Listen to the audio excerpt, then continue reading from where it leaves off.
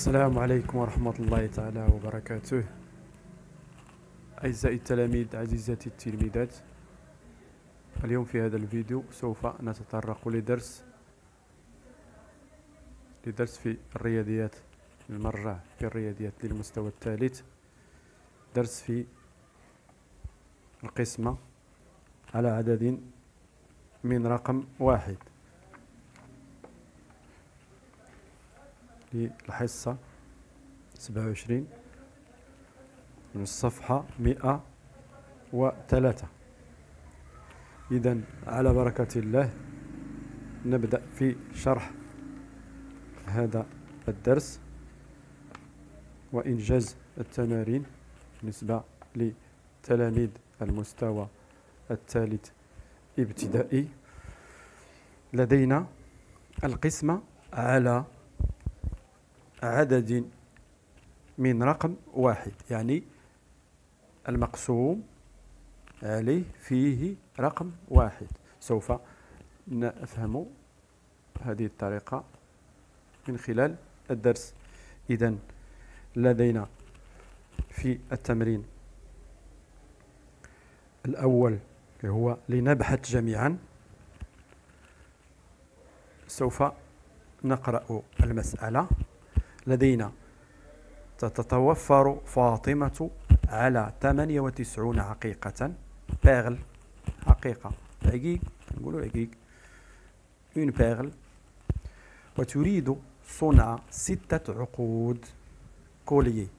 كوليي كنقولوا كوليي. الأب دجة. كنقولوا سكي يقول لها يسميها المدجة أو الكوليي. فيه مجموعة من العقيق. صنع ستة عقود متشابهة. كم عقيقة ستضع في كل عقد؟ عندها 98 عقيقة. عقيقة وبغات تصنع ستة ديال لي كوليي. شحال خاصها توضع في كل كولي في كل عقد من عقيقة؟ هذا هو السؤال. لحساب عدد العقيق في كل عقد لجأ كل كل من أحمد وهبة إلى طريقته الخاصة.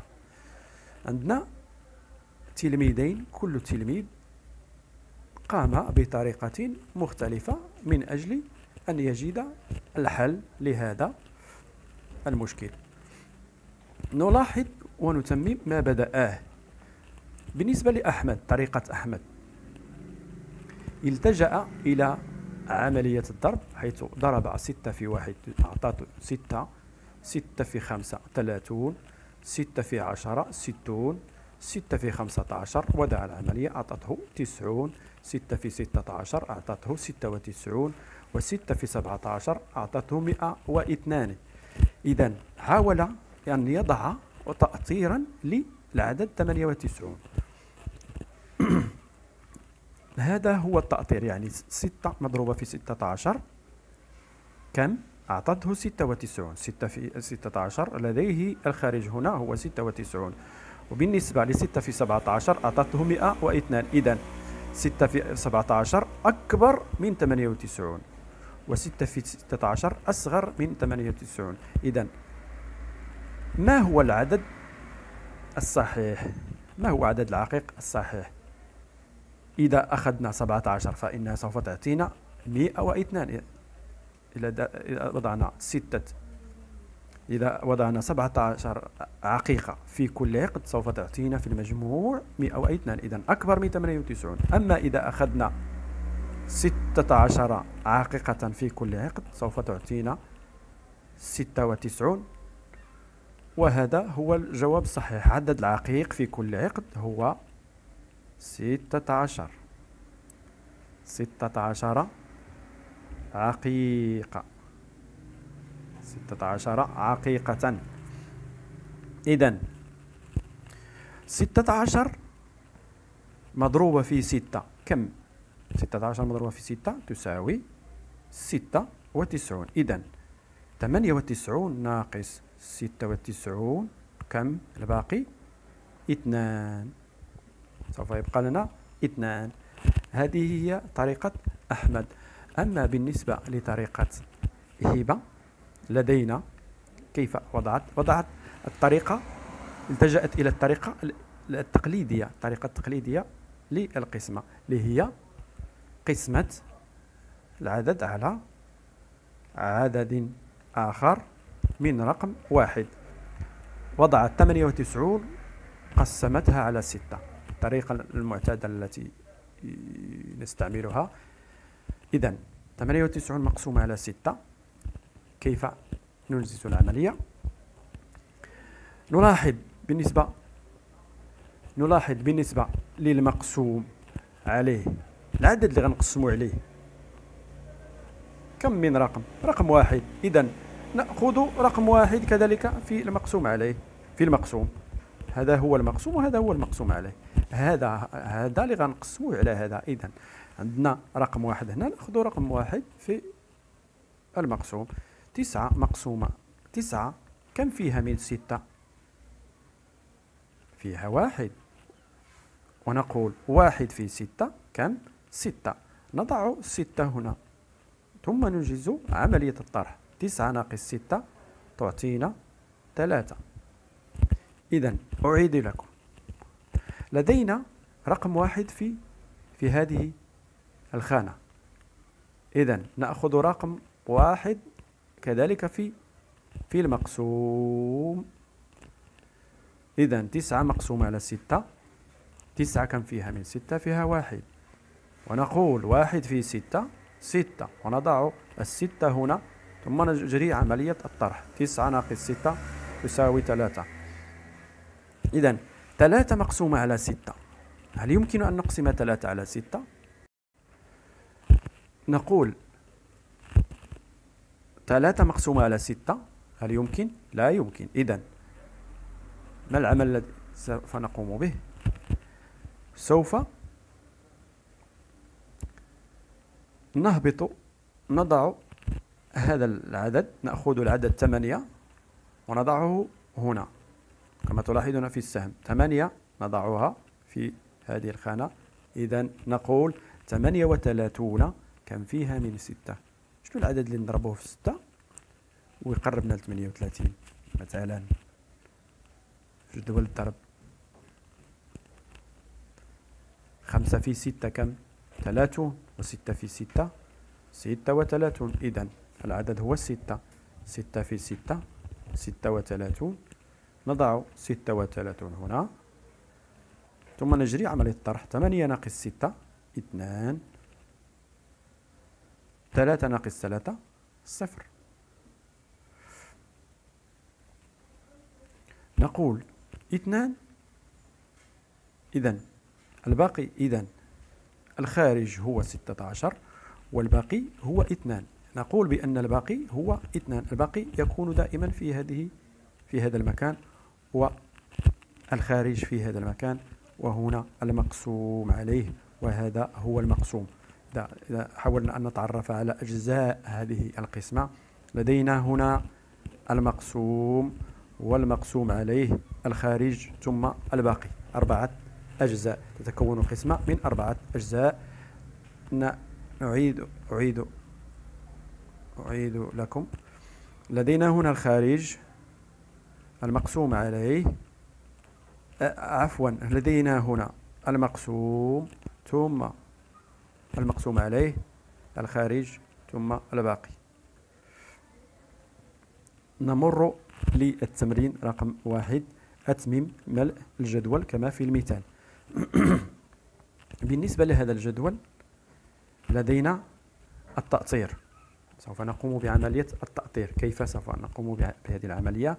كما في هذا المثال لدينا المقسوم 83 المقسوم عليه 7 تأطيره 7 مضروبة في 10 أصغر خير نمر للتمرين رقم واحد هنا نلاحظ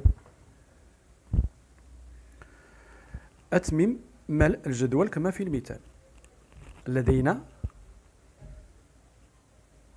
المقسوم اللي هو 83 المقسوم عليه 7 تأطير هذا التأطير سبعة مضروبة في عشرة. أصغر من ثلاثة وثمانون أصغر من سبعة مضروبة في مئة. يعني سبعة في عشرة. كم؟ سبعة في عشرة. سبعون. أصغر من ثلاثة وثمانون وثلاثة وثمانون أصغر من سبعة مضروبة في مئة. سبعة مضروبة في مئة هي سبعمائة. إذا عدد أرقام الخارج هو اثنان. لماذا هذا التأطير؟ علاش هذا التأطير؟ هذا التأطير كنستعمله باش نعرفوا عدد أرقام الخارج. عدد أرقام الخارج. إذا إذا إذا ضربنا العدد سبعة في عشرة لكي تعطينا سوف تعطينا سبعون. إذا سبعون. كم من من من من من رقم في سبعون رقمان سبعة والصفر هي رقمان.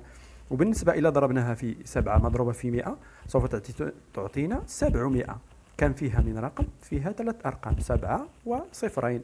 إذا سوف أشرح لكم خلال المثال إذا وضعنا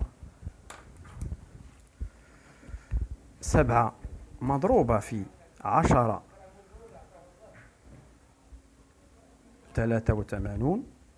وسبعة مضروبة في مئة. بالنسبة للضرب إذا أي عدد نضربه في في عشرة؟ سبعة.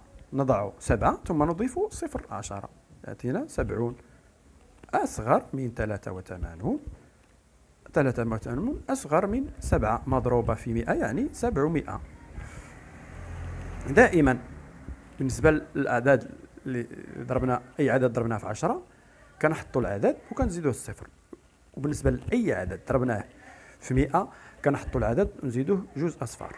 فهمنا أي عدد ضربناه في 1000 كنحطوا العدد نزيدوه ثلاث أصفار على حسب الأصفار. فهمنا إذا هنا سبعون كم من رقم؟ فيها فيها رقمان. وهذا العدد 700 فيها ثلاثة أرقام. إذا بالنسبة ل 700 أكبر من 83 إذا الخارج سوف يكون سوف يكون فيه رقمان وليس ثلاثة أرقام. إذا نمر لتتمة التمرين. لدينا 46 مضروبة في 5 نضع 46 هنا.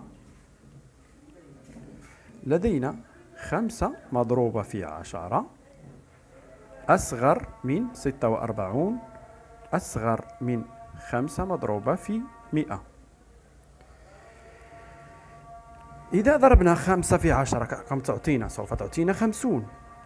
وإذا ضربناها في مئة تعطينا خمسمائة إذا الخارج كم من رقم؟ رقمان. ستة مضروبة في عشرة. أصغر من من خمسة وسبعون أصغر من ستة مضروبة في مئة. ستة مضروبة في عشرة ستون. وستة مضروبة في مئة ستمائة إذا عدد أرقام الخارج رقمان. بالنسبة ل 58 إذا بالنسبة لتأطير العدد 58 لدينا 8 مضروبة في 5 تساوي 40 وثمانية أربعون أصغر من ثمانية وخمسون وثمانية في مئة تساوي ثمانمائة إذا عدد أرقام الخارج تساوي اثنان رقمان. ثم نمر لتمرين رقم اثنان أنجز كما في المثال. لدينا هنا العملية منجزة. إذا لدينا ستة و... ست... في المقسوم 66 والمقسوم عليه 5 إذا 66 مقسومة على 5 66 مقسومة على 5 لاحظوا لدينا هنا المقسوم هو 66 والمقسوم عليه هو 5 أعيد. بالنسبة للمقسوم عليه المقسوم هو 66 والمقسوم عليه هو 5 والخارج 13 والباقي واحد. هذه هي أجزاء القسمة كما قلنا. المقسوم المقسوم عليه الخارج ثم الباقي. سوف ننجز العملية من الطريقة نفسها. إذا لدينا هنا في العملية الأخرى المقسوم هو 43 والمقسوم عليه هو 3 نقول أربع لدينا رقم واحد هنا. إذا نأخذ رقم واحد. نقول أربعة مقسومة على ثلاثة أربعة كم فيها من ثلاثة؟ فيها واحد. أربعة كم فيها من من ثلاثة فيها واحد. إذا ثم نقول واحد مضروب في ثلاثة. ثلاثة. نضع ثلاثة هنا. أربعة ناقص ثلاثة. كم؟ إذا نقصنا أربعة من ثلاثة. أربعة ناقص ثلاثة تعطينا واحد. واحد مقسوم على ثلاثة لا يمكن. إذا ننزل بثلاثة. بالعدد ثلاثة هنا. ننزل بهذا العدد هنا. تعطينا 13 كم فيها؟ من ثلاثة أربعة. ما هو العدد الذي نضربه في ثلاثة ويقرب منه من 13 أربعة في ثلاثة أربعة في ثلاثة 12 أربعة في ثلاثة تساوي 12 ثم نضع 12 هنا. ثلاثة ثم نقوم بعملية الطرح. ثلاثة ناقص اثنان واحد. وواحد ناقص واحد صفر. إذا الخارج هو أربعة عشر والباقي هو واحد. المقسوم هو ثلاثة وأربعون المقسوم عليه ثلاثة الخارج أربعة عشر الباقي هو واحد. وبهذا نكون قد أنهينا هذا التمرين.